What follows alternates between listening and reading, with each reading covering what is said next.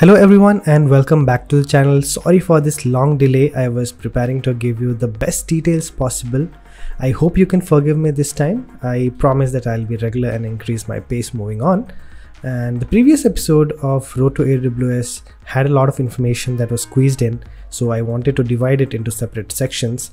And if you feel I am moving a bit fast or slow, please do let me know in the comment section below uh, so that I can change that as per your requirements in the next one.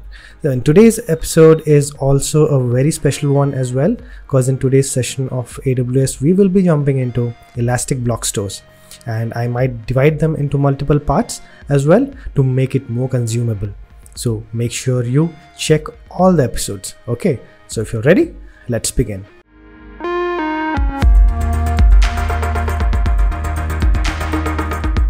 And in today's episode of Road to AWS, we will be discussing about what is block storage, what is the difference between block and file storage, what is network storage, and uh, what are the AWS Elastic Block Storage volumes type, and what are the EBS snapshots. And further on, we will be moving on to the EBS volume migration, EBS encryption for volumes, what are the differences between EBS and the instance stores, how to configure EBS RAID configurations, what is AWS EFS, the Elastic File Store, and its hands-on. What are the differences between EFS and EBS? We will be covering all of them and we'll be having a hands-on demo on each of them. So let's begin. Uh, so let's start off with the vision about block storage and before moving to AWS Elastic Block Storage, let's understand what is the actual idea behind block storage. So have you ever shifted from one place to another?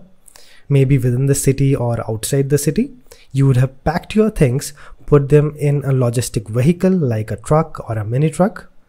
To pack things, you need boxes, right?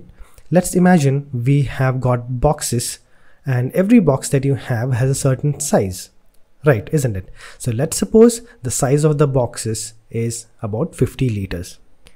And there are boxes for each of the rooms that you have, isn't it? So, so as you can pack them accordingly. Now that you have reached your new home, you are shocked. The logistic people have dropped the boxes and they have left. It's all mixed up and you, and you scream, Where is my stuff, dude? And then you realize you had asked the logistic people to mark the boxes with the name of the room from which the boxes were packed. So it's so easy to find the blocks when they have been properly marked, isn't it? So that is what happens when you use block storage. It's so funny. It's like I'm promoting AWS block storage, Elastic Block Storage itself, but that's how interesting it is. So when anyone asks you about, hey, do you know block storage? Imagine this room, which in computing network terms, think of a storage area network where you have blocks of storage of a specific capacity which you can use for your storage needs. You can see here we have a storage area where we have blocks of storage with 512 gigabytes and block storage provides fixed sized raw storage capacity. Each storage volume can be treated as an independent disk drive and controlled by an external server operating system. This block device can be mounted by the guest operating system as if it were a physical disk and the block storage is the most commonly used storage types for most applications and it can be either locally or network attached and are typically formatted with file systems like FAT32, NTFS, ext3 and ext4. So I wanted to give you a real-time example here. Imagine you are editing videos and they are all around like 4K and 8K videos. You cannot store all of your videos or raw files that uh, they would be around like 30 to 40 GB per file, isn't it? Like Marques Brownlee does from MKBHD. He stores them in an array of hard drives with 10 terabyte each with a whole system around it. With block storage, files are split into evenly sized blocks of data, each with its own address with no additional information or metadata to provide more context for what the block of data is. So with block storage, you get an address as the only metadata for your access and that's how you can get connected. So as you can see in the visual here as well, the data has been divided into different blocks of capacity and it has a unique address to it. And the best thing is it's virtual. So you can have as many as you want, but you got to pay for what you use. It's not free, isn't it? So in retrospect, block storage is a type of data storage that stores data in volumes or blocks. So as the name, block storage, which acts as a individual hard disk drive. So each storage block has its own file system and parks different information types within partitions or between partitions. So this is a brief introduction for the block storage and I hope you got the idea of how block storage works and this is not what you learn in any solutions architect course but i felt why not go deep and discuss and have fun with this? I hope you're all liking it. Let's move on. So it's not that we have only block storage and there is another storage option that you would have probably used in your daily life. This is the file storage. I hope everyone remembers out here what file storage is it's pretty simple. You have a folder where you store your files. It can be a nested folder as well where you need to iterate the folder path to reach the file like we do in our operating systems like we use uh, like the windows the mac or the linux.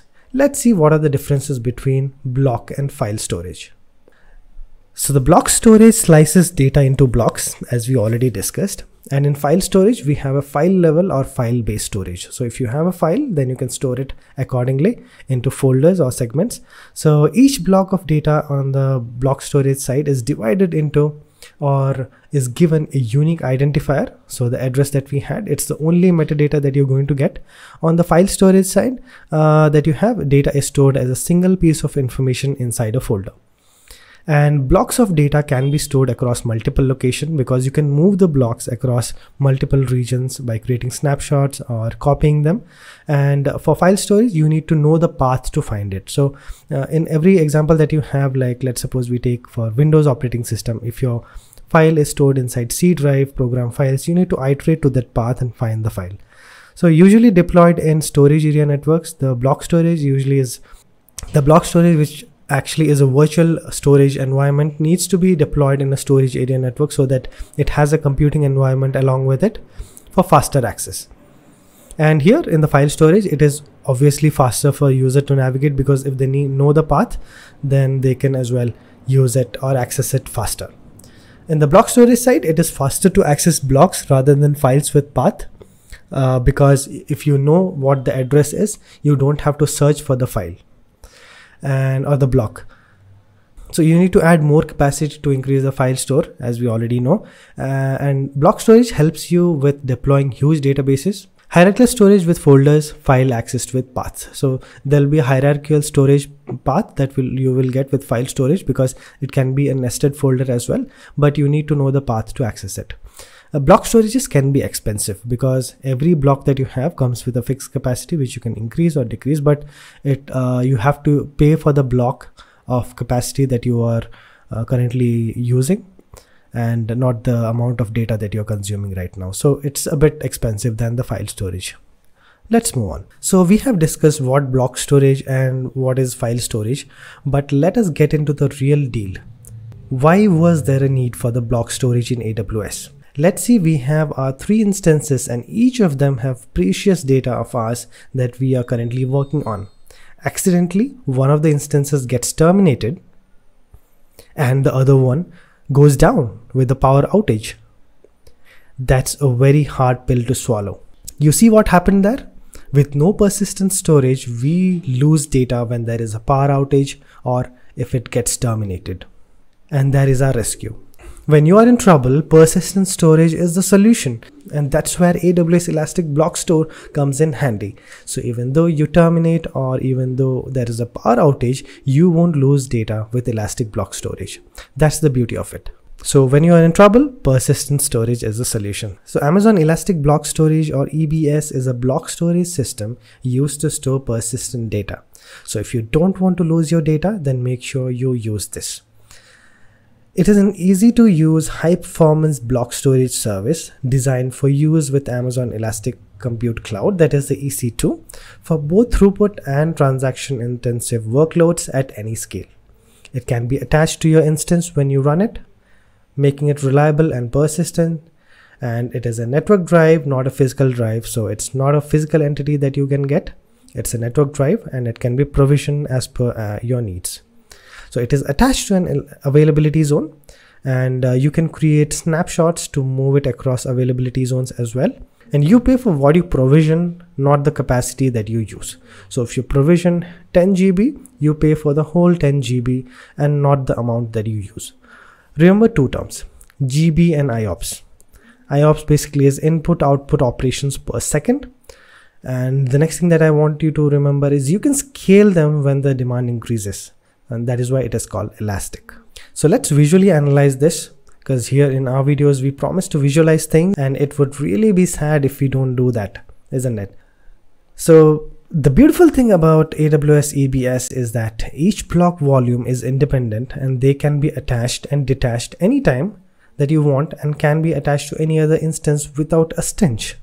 So we here we have four EBS volumes and we can and we have one EC2 instance and you can see we can attach one or more volumes to it and we can as well detach it and attach it to the other one when we need it. So remember with block storage files are split into evenly sized block of data each with its own address but with no additional information or metadata to provide more context for what the block of data is. So with block storage you get an address as the only metadata for your access and that's how you get connected. So as you can see in the visual as well, the data has been divided into a different block of capacity and it has a unique address to it. And the best thing is it's virtual. So you can have as many as you want, but you got to pay for it. It's not free. So this is a brief introduction for Elastic Block Storage. I hope you got the idea of how this works. Let's move on to the benefits of AWS EBS volumes and let's see what are the advantages of using AWS Elastic Block Store. So we have the benefits tree and we have most of the benefits covered. So the first thing we have is performance for any workload. So SSD backed options that are a part of EBS include a volume designed for high performance applications and a general purpose volume that offers strong price performance for most workloads. So hard disk drive backed volumes are designed for large sequential workloads such as big data analytics and log processing and data warehousing. So we have best of both worlds when it comes to performance. And the second one that we have here is ease to use or easy to use. The Amazon EBS volumes are easy to create, use, encrypt and protect. Elastic Volumes capability allows you to increase storage, tune performance, and uh, change volume types without any disruption to your workloads. So when it comes to backups as well, EBS snapshots allow you to easily take backups of your volumes for geographical protection of your data. As it is stuck to a particular AZ, you can create a snapshot and copy to the AZ that you want and you can use it. When you get a chance, go through the Data Lifecycle Manager or the DLM. It is an easy to use tool for automating snapshot management without any additional overhead or cost. So third one that we have here, which is my favorite, high availability and durability. Each volume is designed to protect against failures for replicating within the availability zone or the AZ uh, offering around 99.999% availability and an annual failure rate or AFR to between 0.1% to 0.2%. Five nines or 99.999% availability means 5 minute, 15 second or less downtime in a year. Or if you're really ambitious, shoot to 6 nines or 99 0.9999% availability, which allows you 32 seconds or less downtime per year. Otherwise, 4 nines or 99.99% uh, allows you to have 52 minutes 36 seconds downtime per year. You can see this in Wikipedia or online as well, where the differences between the four nines and the five nines and the six nines, they give a comparatively better understanding of what the downtimes they provide. And basically the amount of nines that you increase it actually decreases the downtime that you have. So with five nines you get around 5 minutes and 15 seconds or less with 6 nines you get around 32 seconds and with 4 nines that you have you get 52 minutes and 36 seconds downtime per year so moving on the fourth one is virtually unlimited scaling so Amazon EBS enables you to increase the storage without any disruption of your critical workload and build applications that require as little as a single GB of storage or scale up to petabytes of data, all in just a few clicks. So this is one of the major advantages that we have as well. And the fifth point is security. Security is very important, isn't it? So EBS is built to be secure for data compliance. When you think of security in computing terms, we think of what? Yes, encryption. So newly created EBS volumes can be encrypted by default with a single setting in your account. And EBS volumes support encryption of data at rest, data in transit, and all volume backups. EBS encryption is supported by all volume types, including uh, which includes built-in key management infrastructure and has zero impact on performance. So, so when when you think of security, uh, it really helps to have features like this. And last but not the least, the most important point for the companies as well, that is the cost effectiveness and as a solutions architect you will also need to be sure about the cost effectiveness as well. So ebs offers four different volume types at various price points and performance benchmarks enabling you to optimize cost and invest in a precise level of storage for your application needs. So understand the point here backups using ebs snapshot are incremental and save on storage cost by not duplicating data. So this is a bit tricky, isn't it? But don't worry, we will discuss this in details in some time. So stay tuned. So let's talk about the type of block storage options we have in AWS. So EBS allows you to create volumes and attach them to Amazon EC2 instances. We have all seen how it does in the diagrams before. Once attached, you can create a file system on top of these volumes uh, run a database or use them in any other way you would want to use your block storage. And EBS volumes are placed in a specific availability zone where they are automatically replicated to protect you from the failure of a single component. Having said all this, EBS volumes is one of the most important concept for the exam. And there are a lot of questions that come in the exam from EBS. So please pay full attention to this. So Amazon EBS provides a range of options that allow you to optimize storage performance and cost for your workloads, and they have been divided into two different categories. SSD backed storage for transactional workloads such as database and boot volumes, and hard drive based storage for throughput intensive workloads such as MapReduce and log processing. So, SSD backed are the ones you would associate with IOPS, input output operations per second and hard disk drive backed are the ones that you associate with MB per second or megabytes per second. And we all know that the price of SSD is higher than hard drives and it's not different here in AWS EBS as well. And obviously SSDs are faster than hard disk drives. If you want to know why SSDs are faster than hard disk drives, please put that in the comment. We will make a separate video on this and visually discuss on how it is.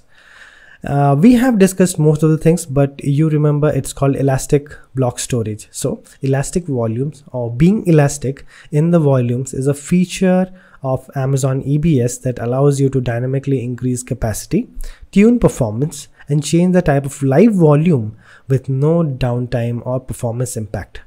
This allows you to easily right size your deployment and adapt to the performance changes.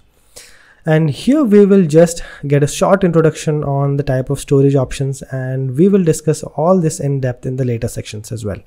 So the first one that we have is provision IOPS SSD which is called the IO1 volume which is the best SSD backed volumes that we have which is the IOPS intensive one IO1 is backed by a solid state drive and it is and is the highest performance EBS storage option designed for critical IO intensive databases and application workloads as such uh, as well as throughput intensive database and data warehouse workloads such as HBase and Cassandra. So the volume size that you get here is 4 GB to 16 terabytes. The max IOPS per volume is around 64,000 and the max throughput per volume is about 1000 MB per second and the max IOPS per instance is 80,000 Max throughput per instance is around 2375 MB per second. So remember this for IO1, it's the highest performance SSD backed storage type and provides very good throughput per volume. Second one is general purpose SSD or the GP2 volume. It's a reasonably good SSD backed volume and GP2 is the default EBS volume type for Amazon instances or the EC2 instances. These volumes are backed by solid state drives and are suitable for a broad range of transactional workloads, including development, testing environments, low latency transaction workloads, and uh, boot volumes as well. So the volume size that you get here is 1 GB to 16 terabytes compared to 4 GB uh, to 16 in IO1. The max IOPS that you have per volume is around 16,000 Max throughput per volume is around 250 Mbps. Max IOPS per instance is around 80,000 and max throughput per instance is around 2375. So remember the, that when working with EC2, GP2 type volumes can be used for boot volumes. The third point that we have here and we are moving forward with the HDD type storage, uh, the throughput optimized HDD or the ST1. The ST1 is backed by hard disk drive and is ideal for frequently accessed throughput intensive workloads with large dataset and large IO sizes, such as MapReduce, Kafka, log processing, data warehouse, and ETL workloads. These volumes deliver performance in terms of throughput, measured in megabytes per second, and these are basically low cost hard drive volume designed for frequently accessed throughput intensive workloads so you can use them for big data, data warehousing and log processing. And the volume size that you get here is 500 GB to 16 terabytes. Max IOPS per volume is 500. Max throughput per volume is 500 again. And max IOPS per instance is around 80,000. And max throughput per instance is around 22,375 megabytes per second. So last one that we have for the hard drive based uh, storage option is the cold HDD or what we call as the SC1. So SC1 is backed by HDDs and provide the lowest cost per GB of all the EBS volume types. It is ideal for less frequently accessed workloads with large cold datasets. So, so remember that it's the lowest cost HDD volume designed for less frequently accessed workloads. Less frequently means like old logs and reports which you access rarely, in other words, less frequently. Cold data or the infrequent data that you have requires fewer scans per day so that is why it is also called as a less frequent one. And the volume size that you get here is 500 GB to 16 terabytes. Max IOPS per volume is 250 max throughput per volume is around 250 Mbps. Max IOPS per instance is 80,000 and max throughput per instance is around 2375 MB per second. So now that we have discussed all the things that we need to know about EBS, I mean not all but uh, the theoretical part, let's move on to the interesting part. Let's get a hands-on demo for AWS EBS or Elastic Block Store. So if you're ready, let's move on.